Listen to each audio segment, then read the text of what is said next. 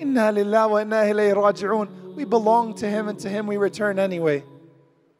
That one, Allah subhanahu wa ta'ala, getting a chance to stare at His face. And some people get to stare at Him in Al Jannah every day. Some people have it twice a day. Some people have it once a week. Getting a chance to consistently look at Him subhanahu wa ta'ala because you love Him. And that love that you had for Him, it drove you. Everyone has something that drives them. Everyone has something that gets them out of bed every morning. Everyone has something that drives them to work and gets them through the day. The believer has pursuing the love of Allah subhanahu wa ta'ala.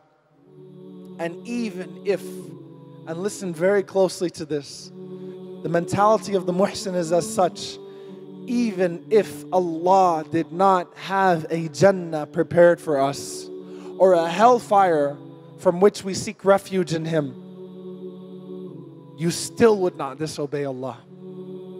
You would still love Him. And that would still be enough of a driving force. As Umar ibn al-Khattab radiallahu ta'ala anhu said about Suhaib al-Rumi radiallahu ta'ala anhu, even if there was no heaven or hell, even if Allah subhanahu wa ta'ala did not prohibit disobedience, lam. He would never be able to disobey Allah subhanahu wa ta'ala.